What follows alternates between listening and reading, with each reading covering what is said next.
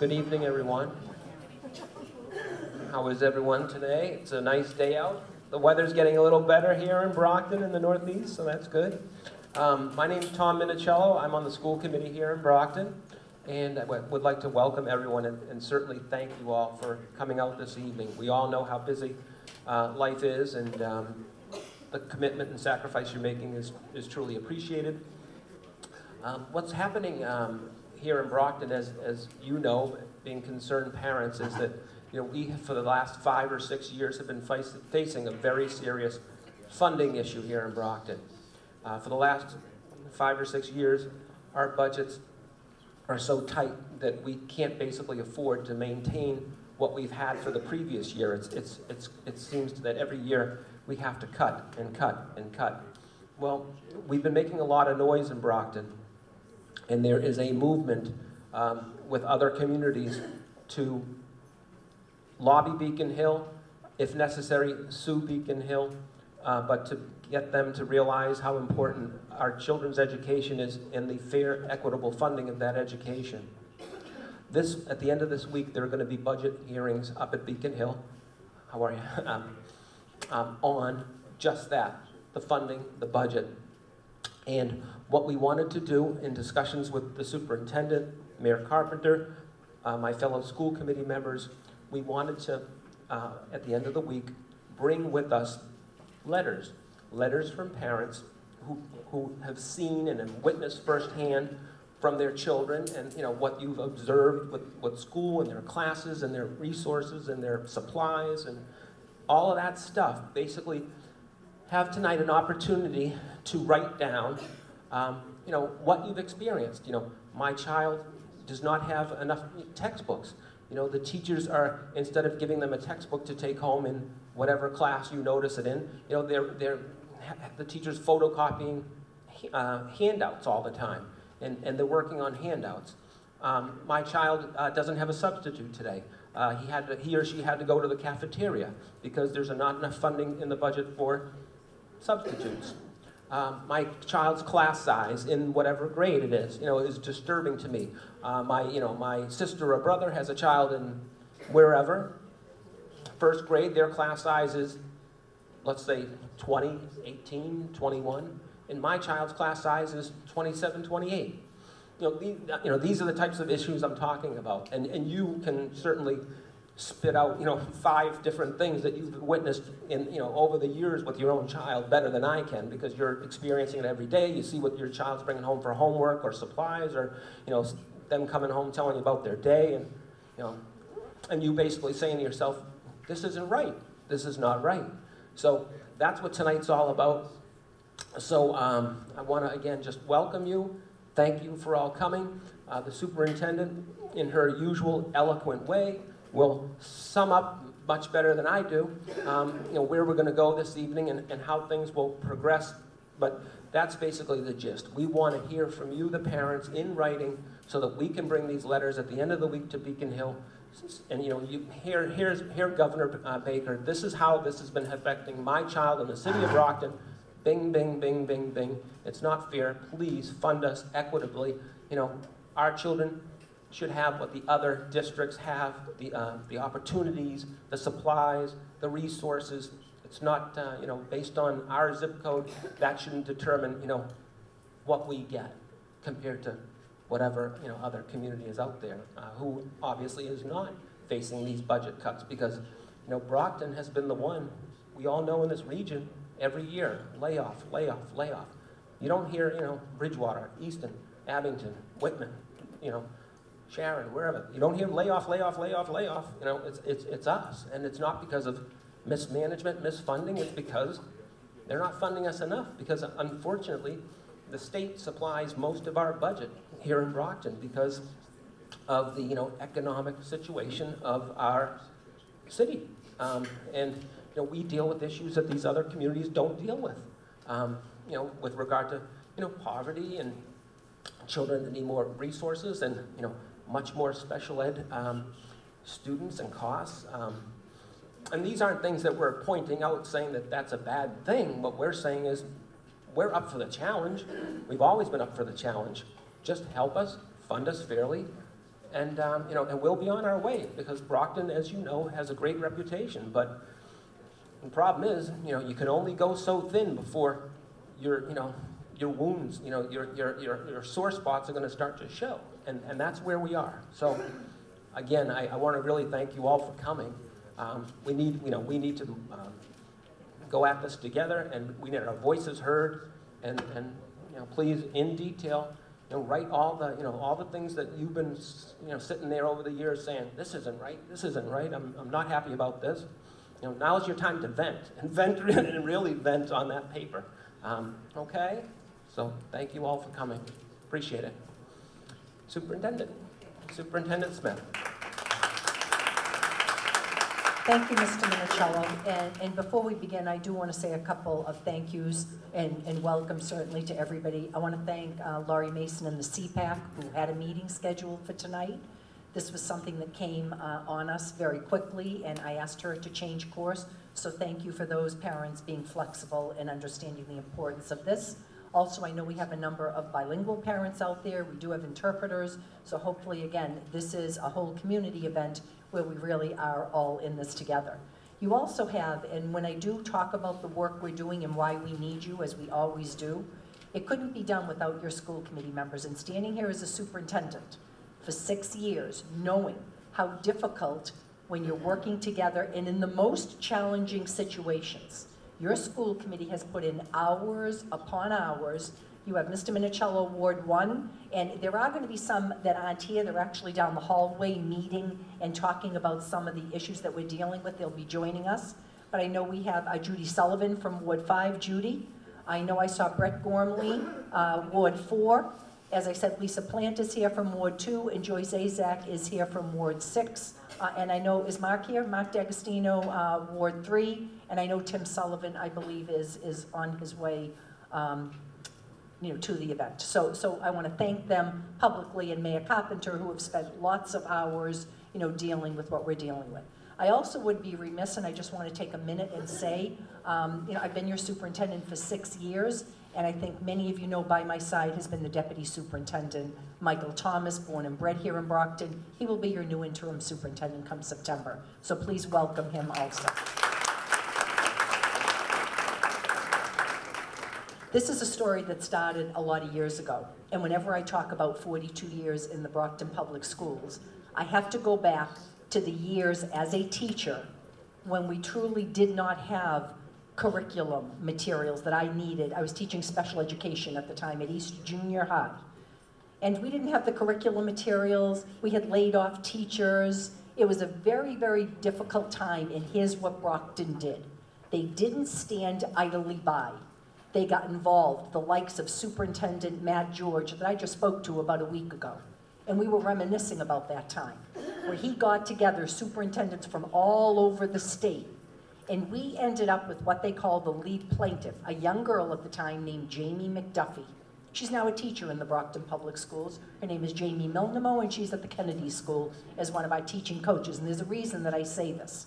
When you hear the Jamie McDuffie story, it's a young girl sitting at South Junior High and Brockton High School with 35 kids in a social studies class, kids sitting on the radiators because there weren't enough desks and chairs, you know, textbooks that were falling apart, you know, all the same kinds of things. And it's a shame that when you look at the McDuffie case that was decided in 1993, and what the case said was it should not matter about your zip code. If you're a poorer community, and many times your gateway cities and your urban centers, who are dealing with a lot of things that many of our surrounding neighbors are not necessarily dealing with, but they also have to educate their uh, population. And at that time, what it said was the state has an obligation, a legal obligation, to come up with the proper funding. And it is based on a very large formula. And I can't go into, I've been in, again, the district 42 years, six as superintendent, and I still struggle to understand that formula. But it takes a look at the type of children you have in your community. Do you have children that are learning the English language? Your special education percentages. Are you dealing with children that are living in poverty, that could be homeless, that are, are moving from place to place, and you need to find some, some stability for them? And a teacher that can spend a lot of time where it might take extra time. Maybe there are summer programs where extra learning time occurs, extra days, or after school programs, all kinds of things where a community comes together and supports a youngster. And when Ed Reform came in with the McDuffie case, and Jamie McDuffie was the lead plaintiff out of Brockton, it told the state that the formula had to look at the community, and it has to give a certain percentage from state funding, and a certain percentage comes in from our city, which is called meeting 100% foundation. I'm going to give you a very quick example. In Brockton, we get about 80% funding from the state and about 20% is put in from our city. If you're a wealthier community, maybe your community is putting in 80% and you're only getting 20% from the state. Every community has a formula. Once we reach that 100%, we are not wealthy enough to go above and beyond that 100%. You know, the mayor will do what he can if I need technology devices, and basically sometimes it's come to begging you know, is there additional money as we start to look at what technology is, and I'll talk about that in the lives of our children. If you are in a wealthier community, once you reach that 100%, and like I said, it could be 80 from the town and 20 from the state, you can go above and beyond. And there are some communities that put in millions of dollars above and beyond. They want to have one-to-one -one devices for their kids. They want to make sure that in first grade, they have 20 kids to a teacher. That makes sense to them. They want to make sure they have the best research-based curriculum out there. They want to make sure that they have programs for their kids with technology so that by the time they get to high school and have to pass a high-stakes testing, they're able to do that to move on to college and career. We are not able to go above that 100%. They go above if they want to build a new high school. You take a look around you. You take a look at Middleborough, Stoughton building a high school, East Bridgewater, West Bridgewater, Holbrook, you name it, they've built a new high school. You know why? Because the baby boomers, the high schools we built 50 years ago, when we had so many kids back then we didn't know what to do with, well again, the buildings are 50 years old now. They're not 21st century buildings. And it's not that we're not paying attention to that. We've put together a committee through the mayor's office looking at every one of the buildings in Brockton, whether it's your city buildings, your police, your fire, and 25 school buildings, one being your 50-year-old Brockton High School. So we've done the work. We know that that high school needs a new STEM building, science, technology, engineering, math. And once you do that, you can renovate. We have a thousand kids in every one of those four houses at Brockton High. You can take down the house and renovate each one of those houses to the point after a number of years when we as a group decide our city needs to do this with the help of the state that gives us 80 cents on the dollar for every school we build. We have to put in the other 20 cents, but is that worth it when we're talking about our children? And I will tell you, I'll never forget doing a presentation in front of the city council, which I do every year. And I want to thank the City Council because they have also worked very hard. The problem is they don't have a mechanism to put additional money in my school budget. And there's always talk about the Brockton families not having an appetite for raising taxes. I don't know about you, but I own a home. I've owned a home here for 35 years. It's the biggest possession I have. And when you talk about schools and people wanting to move in or businesses willing to come into our city, you want a literate group of children that are getting the best education possible. And when I really look at what the cost would be, and I'm looking at the surrounding towns, maybe your tax bill would go up $200 a year. You ask yourself, I, every day I buy a giant cup of tea, costs me almost two or three dollars. People go out and buy a muffin, a donut to go with it. You give up that a couple of times a week, we have a new high school. We're able to renovate and take the time to have a facility master plan to do what we need to do for our children in the city of Brockton, just like every one of the towns is doing. We are at a critical point right now, though, and here's the reason, and I really apologize, and the people that came out tonight, you got a phone call on Friday, and I was on the phone with Mr. Minichiello and a group of people probably about a week ago, talking about what's happening at the State House right now. And make no mistake about it, if you look back a couple of years ago, how many remember the signs Brockton Kids Count? I love it when I still see them on people's lawns in the city. And what we did at that time was the state came up with a mechanism where they wanted to count low-income children differently. It didn't matter if you brought a form in that your parents filled out and said basically that your family is poor, you, you need assistance with a free breakfast or a free lunch, or things that help children so they're able to pay attention when they're in school. What they did was they came up with a new formula, and it was called direct certification. And it was, well, if you're on a state program, if you get food stamps, or if you have help with mass health, if you're on a certain program, then we'll count you. If you're a hardworking family, two parents working two or three jobs, and you're still, you know, under the poverty line, well, we're not really gonna pay attention to you. The shame of it is those children are still sitting in front of us. And that was millions of dollars that started out with our struggling budget. When you talk about two years ago, and when I talk about the hard work of your school committee, we started, and this is unheard of, a $16 million deficit at this very time, two years ago, I think. $16 million deficit. We have a $220 million budget in the Brockton Public Schools. Well, what did that mean? What it meant was we had to look at technology that we had a plan to increase. Your 10th graders up at Brockton High right now have to take in the next two months their high stakes testing to get their, to qualify to get their high school diploma by the time they graduate. They have to take it online. In a wealthy district, those students are on computers from the time they're five years old. They probably have two or three of them in their homes. In our district, many of the times, the first time our students see a computer is when they come to school. And they're excited. They want to work on an iPad as a little kindergartner. They want to advance. And we have been trying to do that. But when you're facing $16 million, I have to look at the director of technology and say, I'm sorry, Dan Bejan, I have to cut $2 million from your budget. Uh, Laurie Mason, special ed, and again, special education students, we have a legal, ob legal obligation to provide the services we need to provide. So again, we have great ideas about how to keep kids in classrooms and support them so they're with their peers, and we struggle to continue to give them that advantage our bilingual youngsters in classes. I have a, a sheltered English immersion class at one of our schools right now because again, I'm not a town that has 20 kids in a class and that's the same number I'm gonna have in June because we have kids that move into our district. They come from places that have strife. They come from places that have had earthquakes. They come from places because they want a better life here and they come to Brockton. That's where they're coming.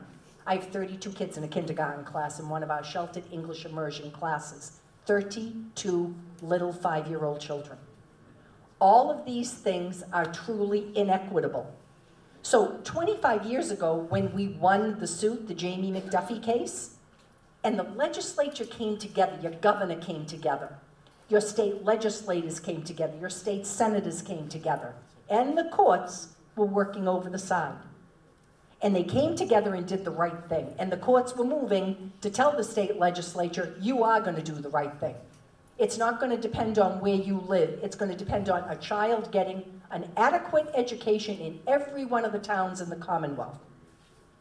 This governor has not lived up to that.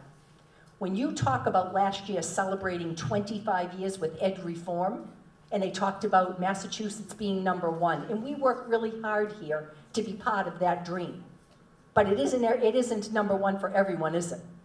Not when you have a $16 million deficit and you're making the cuts to not only technology, curriculum resources we're having difficulty bringing on board, making sure that a town right now, if they have a first grade opening, they're already out there uh, interviewing first grade teachers. I won't be able to interview teachers to probably sometime into August, maybe even early September when I see what those numbers really look like. That is no way to run a school district. I will tell you, having been around 42 years, when that money came into Brockton with ed reform, do you think we wasted it? Absolutely not. You had a group of educators that came together. They developed programs all around this city. I was part of that. We had summer programs for 20 days where kids that needed that extra support came to a summer program for some fun opportunities, reading opportunities, math opportunities, 20 extra days of learning. It made a difference after school programs across our city for every youngster that qualified. We had some fun enrichment and recreation activities, and we always focused on the academics. What do you think happened in Brockton? It was a district, if you look at that high school, that when we started to get to ed reform and the high stakes test that came in in 2003, about five years before that, we were seen as a failing district. Our youngsters were struggling. And within that five-year time, by the time 2003 came on board, we were a story that they write about in this nation. And I'm not just saying that, an urban district that defied their demographics. Parents came together, we had field trips, opportunities. As I said, anything you can imagine, we were able to give our kids, and our kids performed. They did an excellent job. We were written up in uh, U.S. World News Report, I think the New York Times. Professors from Harvard were coming down and studying. Sue Szachowicz, our principal at the time, an associate principal, brought together her teachers up at Brockton High and said, we need to do better. We need to focus on literacy. We need to provide opportunities. And better they did. So we as a district know how to do those things, but we are at a critical point, which is why we asked you to come here tonight. If you look at things, Brockton certainly has really shaken the tree. Because we started complaining about this with all your signs that say Brockton Kids Count, and we have not stopped fighting and discussing and talking about what's fair for every child. And although I was pleased, and let me tell you when I wasn't pleased. So last July, when the state legislature finished their um, budget, we didn't get very much of anything. And it was very frustrating. And at that point, our school committee said, enough is enough. We are absolutely going to bring people on board, and I am talking about attorneys. Bringing attorneys on board to study the data, to see if what we think is happening is real, and it certainly is. And it's not just Brockton. You name the cities. It's Holyoke, it's Springfield, it's Worcester, it's Lowell, it's New Bedford, it's Fall River. Any of your urban districts are struggling. I'm not sure they faced a $16 million deficit, but they are struggling. And the state's inaction is something that we cannot stand by and accept anymore. So our new signs, and we've asked you to come here tonight, and I'm going to introduce you to a group called Stand for Children, which is a state organization that actually had partnered with us and said, we need parents, we need grassroots, we need community members to come together and to start to put down, whether it's a petition, whether it's a letter writing campaign. And I want to make sure that we have on every lawn in this city, whether it's your neighbors, whether it's your relatives, this is not exactly what it's going to be because we just kind of put this together. But instead of Brockton Kids Count, the message has to be for the state, and it has to be with your vote. Equity in education now. This is when we've got to see the move. And one more thing before I introduce you to uh, the group Stand for Children is um, certainly when you look at you know what has happened with ed reform, and we talk about this happening now. Back about five or six years ago, I was excited when I came on as superintendent because the state finally decided that the formula was broken from 25 years ago. And it never should have been broken. It should have been something that they were paying attention to for the past 25 years. And Brockton tried. Back in 2005, Brockton tried to bring the Hancock, excuse me, Hancock case forward. And that was really saying the same thing, that the formula was starting to be whittled away. It was starting to have a negative effect on our students. The courts looked at it, and at the time, they left the door open, and this is your Supreme Judicial Court of Massachusetts. And it basically said, well, we think the standard is an adequate education, and we think the state is doing an adequate job. Well, here I am in 2019 to tell you they are not doing an adequate job. Not only that, that four years ago, I, I lose track of the time, so basically in 2014, five years ago, they put together all over the state opportunities for districts, for school committee, for parents, for elected officials to talk about the stress on their budgets. And all over the state, myself and Aldo Petronio, our chief uh, budget officer, made sure we had a place at every one of these hearings. Didn't matter if it was in, I think you traveled to Springfield one night, all over the state to talk about the stresses on our budget. And the state, to their credit, came up with a report called the Foundation Budget Review Commission Report, which said exactly what I told you. Special education wasn't being funded properly. Neither were low-income students being properly funded. Neither were your bilingual students being properly funded. All of this is in a report that basically tells you you need to do something. So here we are, five years later. Governor Baker came on board in, I think, February, or excuse me, January of 2015, and we're still waiting. So the time is now, and again, I appreciate you all being here this evening, and I'm sure you can tell that I could talk about this all night, because this is something that we have been living. And when I'm in the classrooms, I want to give credit to the principals. And a principal said this to me the other day, and I'm going to call him out for just who said it. I was with Mr. Rogan from the Kennedy School, and here's what he said to me. Our little children coming in need to know that it doesn't matter if you're number 32 in the class, we want you here. We need you to feel a part of our school. We don't want children to feel the stresses of what we're dealing with. So our teachers need to come in every day with an attitude that says, you matter, I'm gonna teach you, I'm gonna do the very best I can, and I'm sure you at home are doing the very best that you can.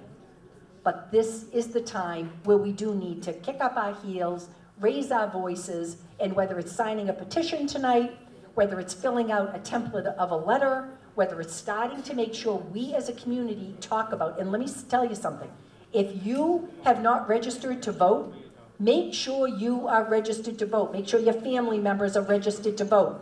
We're, we're making sure those seniors at high school turning 18 are registered to vote because you need to have that voice, you need to be at the ballot box, and you need to be out there as good citizens in this community talking about what we want for our children. So let me um, bring up, I believe, uh, I'm not sure who's, Holly Sullivan, or here you are, Holly.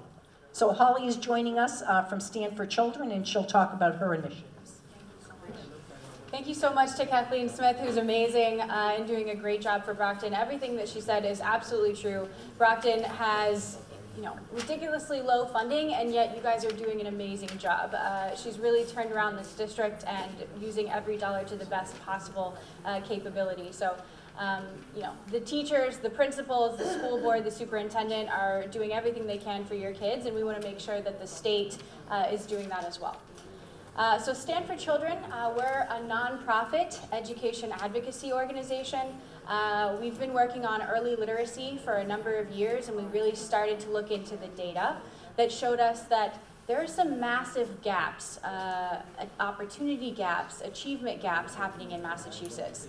Um, I specifically decided to come to Massachusetts to work here on the education issue that we have because of the statistics. And the statistics are just numbers, they're not stories, they're not people, but they are important. We're the number one education system in the country, number one. And yet, if you look at some of our reading measures, we're actually 48th out of 50 states for children of color. Okay? So that means we have the second highest achievement gap in the country and yet we're still ranked number one. So a lot of people don't realize that there's a problem because they're like, what are you talking about? You have the number one education system in the country.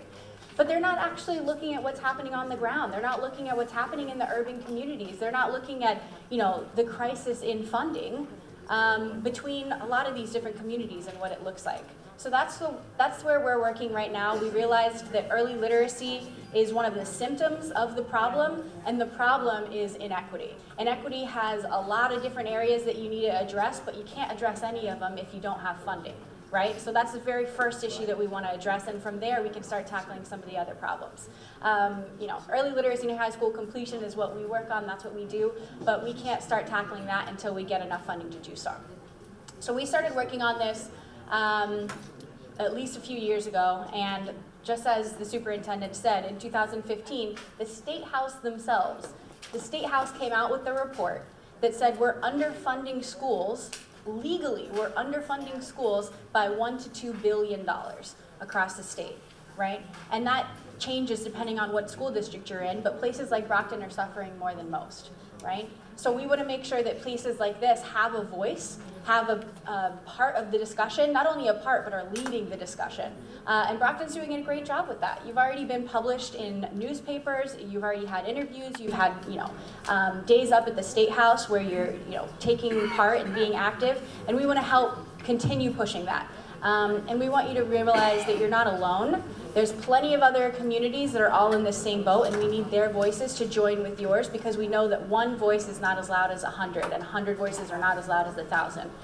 So, back in December of 2018, Stand for Children gathered 1,800 handwritten letters from parents across the state, and we delivered them to the governor's, to the governor's office. And we said, you came out with a report in 2015 that you're underfunding schools by one to two billion dollars. You still haven't done anything about it. 1,800 parents have written you a letter that said, this is what we're dealing with in our schools, this is what we're dealing with in our families and our communities, this is why it needs to change. We were really excited to see the governor come out in January and say this is going to be a top priority, we're going to get this done this year. Okay, great. He comes out with a bill and he says, hey, we're going to have a, a funding bill, this is what it looks like. We also see a funding bill come out from the Senate. We also see a funding bill come out from the House. So we have three big school funding bills. And hopefully this is going to pass this year. We're not going to have to wait any longer. But we do want to see what's included in these bills, right? We know that they're pages and pages long. There's lots of detail, lots of policy, um, and it's really hard for people to get through all that information and really understand what it means.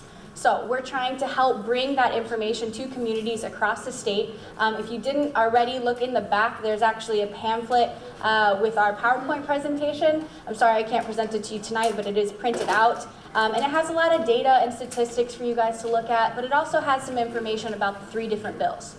So Stand for Children is one of the only organizations that's not backing one bill in particular. Rather, we're looking at some of the positives that each bill can contribute and some of the negative aspects that we don't like. For example, the governor's bill says it's going to take about seven years for us to get to the funding that we need, the funding that has been promised to us, right? So that's a little bit too long. Um, our children are already going to be needing to graduate from high school by that time, and that's, you know, going to be a whole nother generation of children that's going to go by suffering from the lack of funding. So there are plenty of areas um, that you want to look at, that you want to get information to be able to write in your letter to say, hey, this is not okay, we don't want to see this in a bill. But you also have plenty of areas that are good, that are positives, and we say, hey, thank you so much for adding money to um, you know, renovation and construction of new schools and schools that are falling apart. Thank you so much to uh, adding money for um, you know, after school programs or early literacy programs or whatever it might be. Uh, so there's a lot of detail and you're welcome to get as detailed as you want or you can just stay super simple and say, hey, this is what I'm facing. This is what my child is facing, this is what my community is facing, and as long as you fix this problem, I'll be happy. So, you know, get as detailed as you want or, or stay as broad as you want, but we do have the opportunity for you guys to write down your thoughts. Uh, so we have a, a, blank template in the back that you can fill out, and we also have the generic version that was created by the superintendent's office um, that you can just sign your name on, so it's pretty easy. You can also fill in a little bit of extra detail. So pick and choose what you want to do, how much information you want to share and you want to give, but we want to make sure that you're a part of this conversation um, and that you're staying in the forefront of your representatives' minds on how they should deal with this issue, right? If they're representing you, they need to know what you think and how you feel. Um, so Stand for Children has done a number of things thus far, like I mentioned already, um, taking letters to the governor's office, for example. Uh, but we're also going to be putting a lot of things together for the rest of the year because we can't let up. Just because they're making this a priority doesn't mean that we have to stop talking about it. We got to talk about it more now than ever because this is the time, this is the minute, this is the window um, for us to really make a difference. So this is going to change our schools um, for you know the next several generations, and we want to make sure that we do it the right way. There's going to be opportunities for in-district meetings, so for your representatives to come here and talk to you, for you to tell them how you feel and answer your questions. Uh, there's going to be opportunities for you to go to the State House, like this Friday. The hearing that's happening is a key moment. Um, it's when the education chairs of the House and the Senate are going to listen to the testimony of the public. That's people across the entire state, how they think and how they feel about these education bills. The three bills that I'm referencing right now are the three big ones. Um, and they're going to listen to you. You can get up and you can give oral testimony, or you can write down written testimony, which is what we're talking about that's in the back of the room that you guys can fill out. The superintendent's office um, can take that up to the State House on Friday, the 22nd, um, and deliver that on behalf of you. Or you can show up in person and be there with, you know, a t-shirt, with a sign, whatever you want. You could potentially be interviewed by the media. If you're interested, we can help set that up. It's completely from your words and your perspective. That's what we want to hear, and that's what we want to make sure has a voice and has some power up at the State House. Uh, so the 22nd, there's a flyer in the back if you guys want to pick up some information on Friday the 22nd to come up to the State House.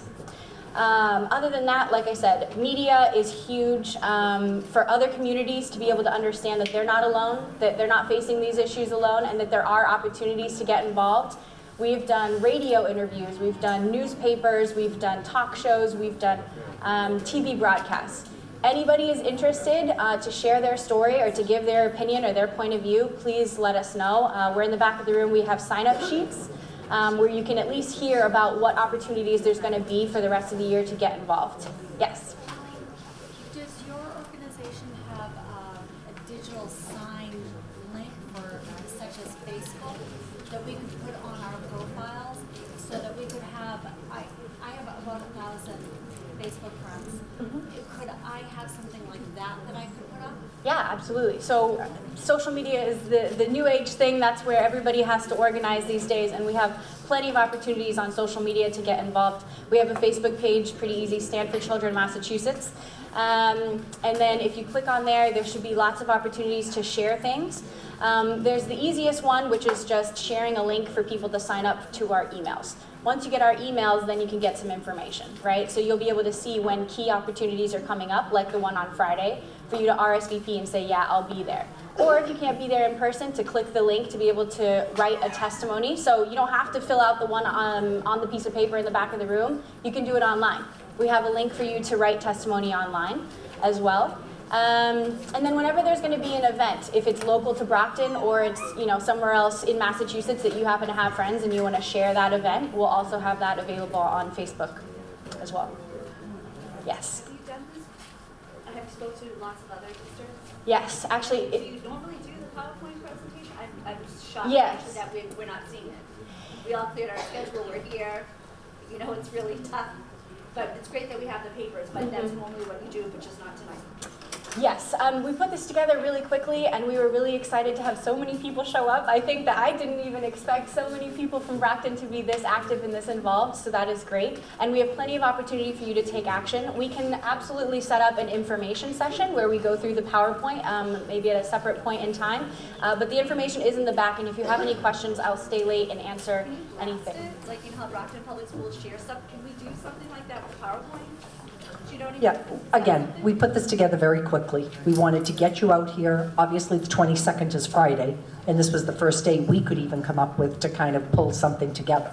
So um, again, we can make sure that you have access to this. There are paper copies, but we wanted you to understand, again, that this is representing a lot of districts. You know, we're telling you again about the Brockton Public Schools. So we certainly welcome Stand for Children. We want to work with them as a partner, um, and hopefully they can get a number of parents that become a very strong grassroots group from the Brockton Public Schools to start to do some of the community work that needs to be done. Um, You also have, if there are any questions, I know uh, our communications director, Michelle Bolton, is down the back of the room. Uh, So if there's anything that we can answer at this time, are you all set, Holly? I mean, if anybody has any more questions, I wanted to give as much information as you guys want. Um, there's like, if you have questions on the information in here, please um, feel free to ask. We'll be in the back of the room. Also, we can pass around. Uh, we can pass around a sign-up sheet for people that are interested to get to stay involved, um, you know, for the rest of the year and, and know about what other opportunities are going to be upcoming.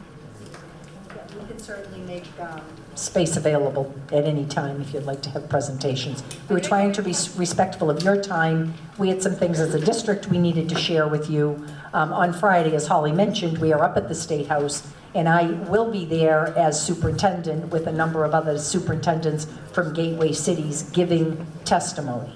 So we will hopefully have, and, and and you know what, this isn't our first time. We have done this every single year. We have been there speaking with the Senate presidents, we've been there speaking with the House of Representatives. Anytime there is a public forum to share the Brockton story, we are always there. And like I said, when Holly talks about the governor's budget, you can truly believe that it wouldn't have happened without parents and communities. One of the things that I, I didn't share with you is probably about a year ago right now, a number of the school committee members and myself went to Worcester and presented in front of their school committee because they share a similar story. We called it the Tale of Two Cities. We then went in the fall and went to Holyoke and involved Western Mass towns. Springfield was there, Chicopee, Holyoke. Same thing. They're struggling. It's a little bit different in every city, but pretty much the same struggle for their children. On the 8th of January, and this was brought together by a coalition where, again, Brockton is a big part of, and three locations on- around the state. I was in Malden with a group of the towns surrounding Boston. There was a group up in uh, Fall River, New Bedford area, and there was a group in the Fitchburg area, and we're continuing to build strong partnerships all over the state. So it really is, I believe, you know, grassroots starting out. And the only way that we got involved with Brockton in the first place was because Kathleen here is leading the charge. I mean, really, of all the communities in Massachusetts, no matter the size of the community, Brockton is always number one in the conversation. So you guys are really doing an amazing job already, and we're really excited that you're um, interested to to stay active and to get involved, uh, you know, until we solve this crisis. Does anybody have any other questions for me? Okay, so we're gonna pass around the sign-in sheet. Anybody that's interested, please let me know, and I'll be in the back for, for questions at the end. Thank you so much, Ollie, for partnering with us. Um, Michelle, do we have any questions?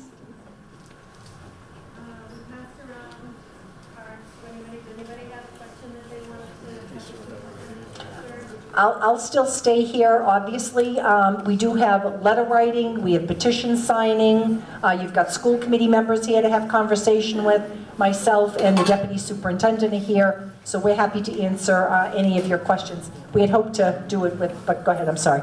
Do you know what time on Friday? That's, I think it starts at 10 a.m., but I can't give you a time. I have gone to the State House and sat there for three hours. You know, it, it could be longer than that. So I can't give you a time, but I believe we can get it up on the website, but I think it starts at 10 a.m. Thank you. Any other questions? Okay. About getting it up on the billboard.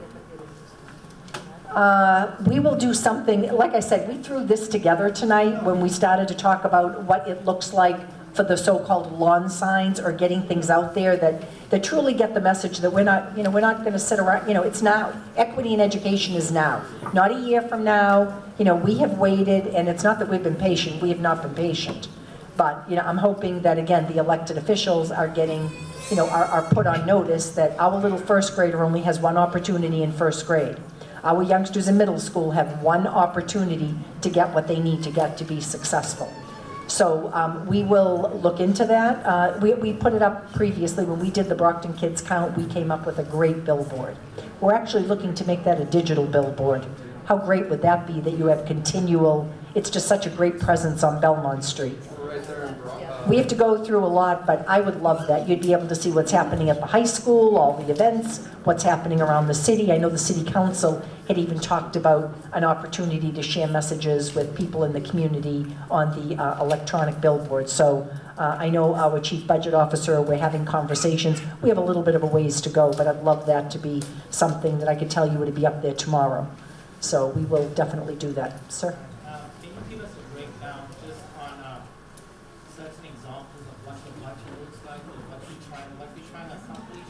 Like, more in a reality form, so people can really understand, like, this is our targets, and this is what it's costing us to get Yeah. to something. So, just something, Yeah, that- at a very high level right now. Yeah, that's a good point. Let me, If you can break it down a little bit.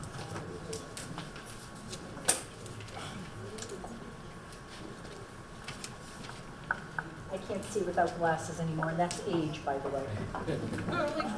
Oh, yeah. So one thing I will tell you is I'm starting to prepare my testimony, and, and you make a good point.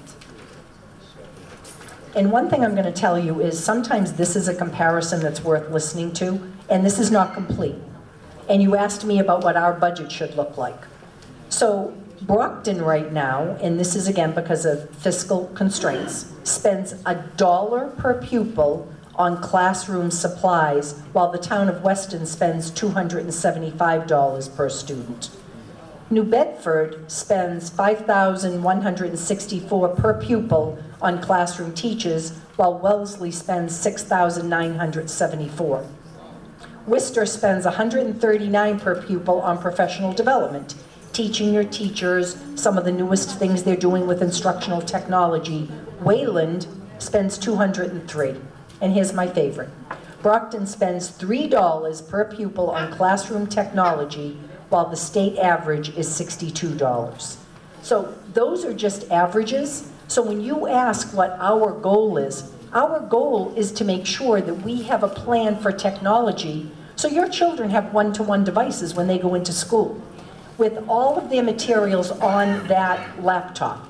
You know, some of their um, books are on there. You know, whatever the teachers need to put for children to be researching. These are the kind of things that happen if you go visit a wealthier town. So when you look at the numbers that I, I just shared, the struggle becomes every town is different. And if you start to look at and go on to the website, the um, Board of Education, our Department of Education, you will see that Brockton gets from the state, when I explain to you the formula, probably a little over 12,000 per student. And that is a blended rate. That takes into account, we have a number of children that are English language learners, special education, children living in poverty, all those things that add to supports that you need to put in place so that child can graduate in grade 12, go on to career, to college, to the military, you know, to our workforce in Massachusetts, so we become a strong economy. When you are cutting a budget by $16 million, you're going to be cutting teachers. We've cut 200 teachers in five years. And that's not because we lost a lot of students demographically in our enrollment counts. And when that happens, that classroom size of 20 in a first grade, all of a sudden throughout the district is up to 26, 27, 28. And then what happens if new kids move into the district? I don't have the money to hire a new teacher in the middle of the year. We have a budget that we have to watch every single time that we meet as a school committee to make sure we're living within our budget. So um, we can start to, I think that's a, a good uh, suggestion, is really taking a look at as you're, as you're trying to put together, you know, what your concerns would be as a parent. I'm sharing with you what my concerns are as we sit with the school committee and do the budget. You know, supplies, materials, technology, textbooks, uh, updates that you want to provide in your schools. Every classroom in your district, every teacher should have a, a smart board, a, a whiteboard, where they're actually bringing technology right, right off of the website. They're able to have children do research and at the same time be on their laptops plugged into the world. That's what should be happening. And instead, we're, instead, we're happy when we can add, you know, five of those devices up at Brockton High. Or I'm pleased when I hear we're getting one-to-one devices right now in grades three, four, and five, and continue to move on. I- I'm sorry, I'm just told that uh, Representative Michelle DuBois just came in. Michelle, I'm trying to see where you are. Oh, there you are. I'm sorry. Thank you. Our- Our, our state representatives, um, I can't say enough, and you heard me start by talking about our school committee, our city council. Our state legislators and our senator are out there advocating for us. So I am very pleased, and I know what they're up against when you talk about a wealthy town that says, wait a minute, what about us? And the truth is, if we care about every kid in the Commonwealth, we want to make sure that we take care of our own, but we want to make sure that we take care of every child so that we remain a strong Commonwealth, a strong state. So thank you for the work that I know you continue to do. Okay. Um, I'm not sure if I was framing the question correctly, but I've heard like, um, I was listening to Ted Berry, and it said like when the real estate tax go up, or something, they take that money to put back into the school system. Can, is that something that we can do here in Brockton to help? Because a lot of those like Weston and other, the other towns, when they take their real estate tax and it goes up, we can put that money back into, you know, the school system, where you just mentioned that there's a lot of people moving to Brockton, so. I, I think one of the things you're asking me, if you have a particular, and I'm just going to give an example, tell me if I'm helping you. So in other words, let's say that we sit down as the school committee and it's going to take uh, $6 million to give one-to-one devices for every child in the district and to make sure that our teachers in the classroom have instructional technology. I'm just using a number. If we don't have that in a budget, because as I told you, the city has to bring us to 100%, 20% is their contribution, 80% from the state. So now you're going above what you have to do. The city council has to vote on that. And that could be, in, it could be something called a debt exclusion, where they say to the voters, okay, voters, you're going to the polls, and we want you to put an extra, whatever the amount of money is, divided over 20 years into the budget to fund education. So you are able to do that. What I hear all the time is there is no, no appetite. Now, to be fair to our city, our city right now is looking at an infrastructure, and I don't want to get into city business, I've got enough on my hands here. But you've got, you know, water, sewer, you need pipes, you need streets, you need, I could go on and on and on. I took somebody recently down Hillberg Ave that was visiting our district from the Davis School to the Kennedy. I couldn't believe how bad that street was. So, I'm sure, I'm sure you could all name your streets, we all live here. But the point is, our city has a lot on their plates, which is why, and again, I'm not here doing city business, but you know, when you talk about businesses, we need businesses in this city. We need people wanting to come and support our city so it supports our infrastructure, including our schools. But the answer to that is you should be talking to your city councilors. You have four councilors at large that have, I don't know if they still do, but I think they have meetings throughout the year at different locations. A handful of people show up. If you all showed up and said, what are you doing for the schools? We heard the superintendent speak. They're out there advocating. They're looking at filing a lawsuit, which the city council is in favor of. But again, if your voices say, what are we doing about a new Brockton High? Are we paying attention? You know, are we taking a look like the town of Abington, the town of, again, name any town, Stoughton, Middleborough, Fall River, you start to name them, they're paying attention to what their kids have in schools. I visited East Junior High, and I always call it that. I taught there many years ago. I love East Junior High, East Middle School. And I went to a, an event in uh, late August.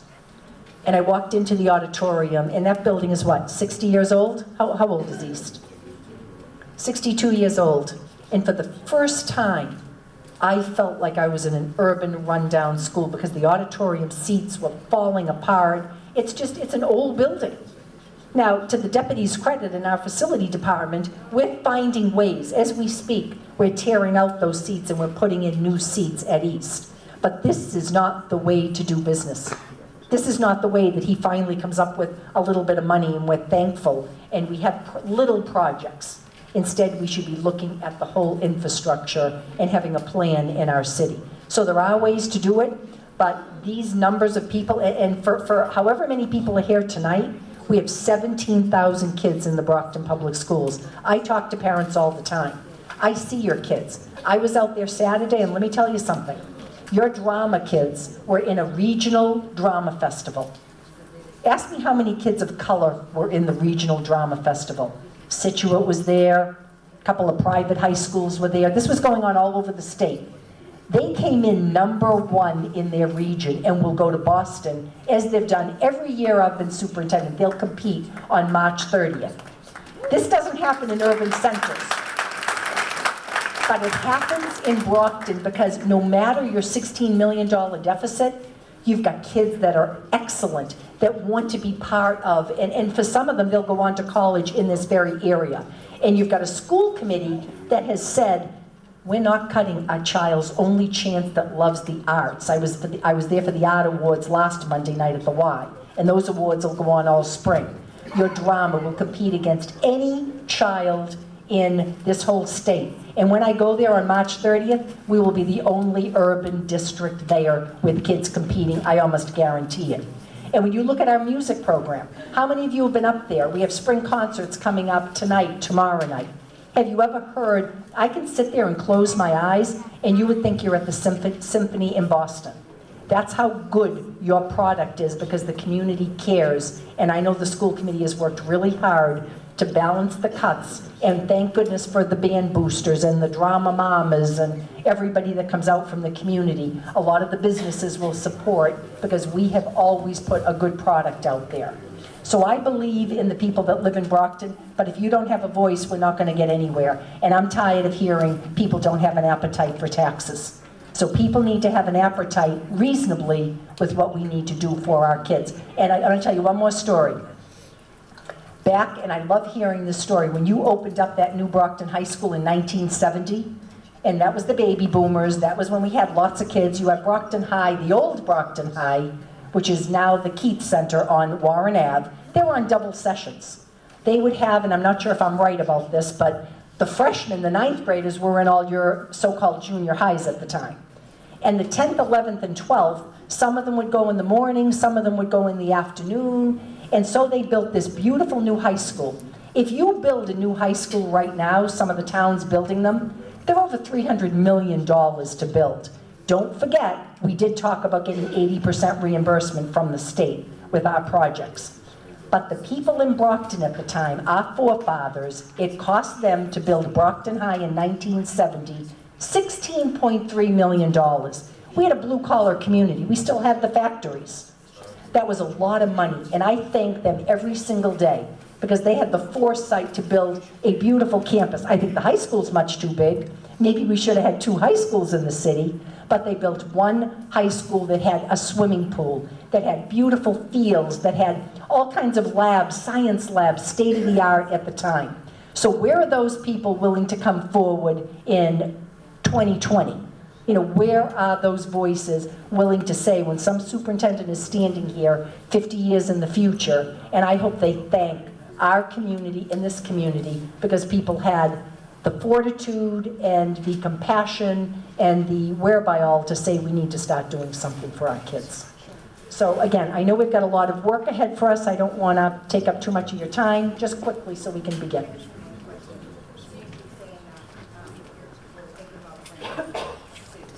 Correct.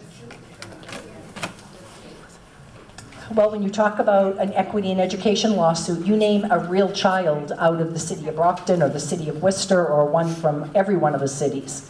And these children are put up, you know, in a lawsuit that basically says we are not, as a state, adequately funding. So it is a lawsuit against the state. Yep. Wouldn't be the city, but of course, it would be a student from the Brockton Public Schools who stands for every other student. And it would be a lawsuit filed against the Commonwealth of Massachusetts.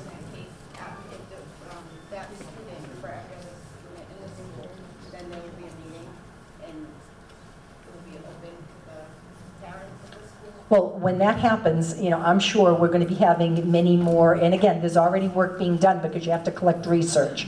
You have to be able to show that you actually, you know, have the evidence and you have standing to go forward. It, it's not school money. It cannot, cannot be school money. The city can put forward money, but it cannot come from the Brockton Public Schools.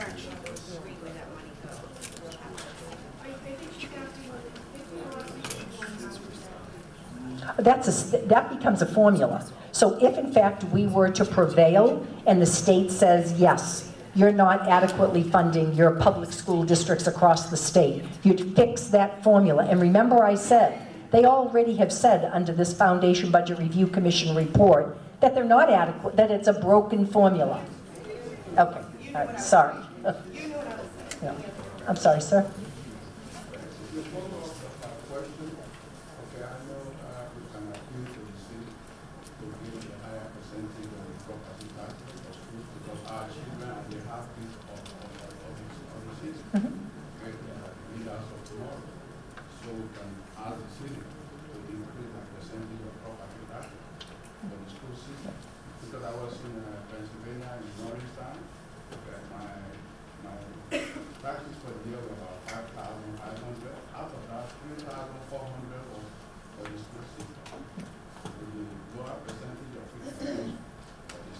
Well, there has to be an initiative. Like I said, the city does have to give us that 20%.